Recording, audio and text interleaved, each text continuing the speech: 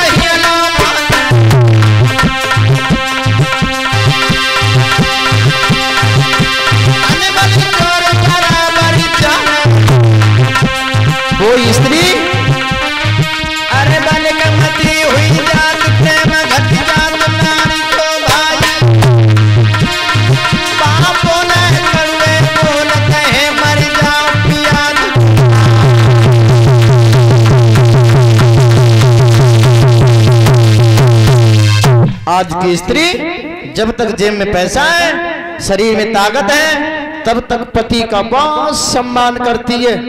और पति जब नौकरी करके आए आँगन में खाना बनाती है।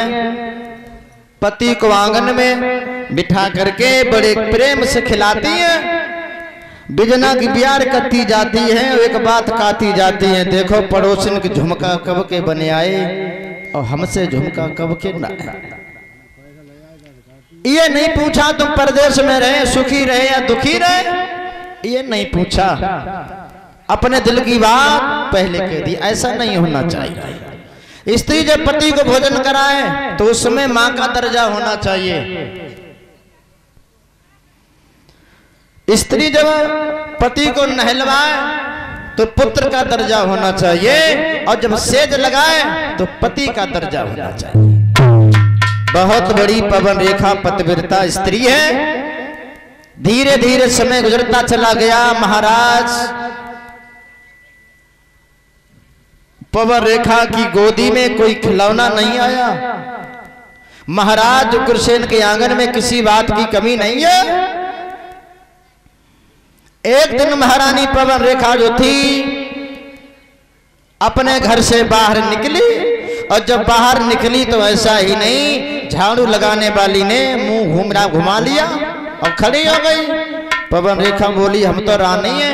और इस इसने हमें देख करके मुँह क्यों घुमा लिया? दिमाग में झटका लगा। अगर हमारे कोई आज औलाद होती तो ये अपना मुँह नहीं घुमाती। और भगवान, अगर स्त्री का जन्म दे तो औलाद ज़रूर दे और अगर भगवान औलाद ना दे तो स्त्री का जन्म न दे। भरे आँगन में बैठ गई पवन रेखा रोने लगी, बांदी ने पूछा, काट दो क्या हुआ? क्यों रोई? उसी समय पवन रेखा बोली, क्या बताएँ? ओरी बांधी तू हमारे पति की कचहरी लो चली जा। और उनसे ये कह देना कि आज तुम्हें आँगन में महारानी ने बुलाया, ना जाने क्यों? ऐसा ही नहीं।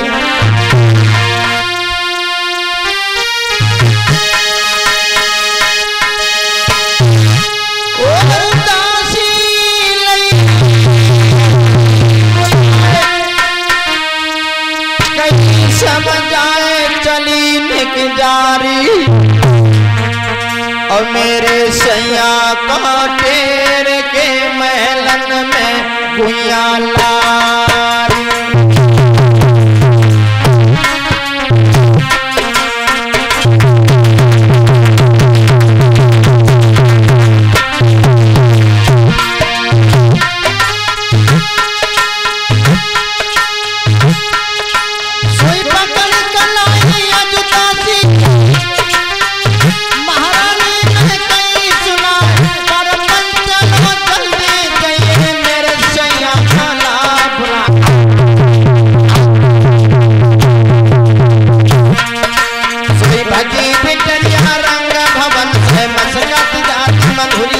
down.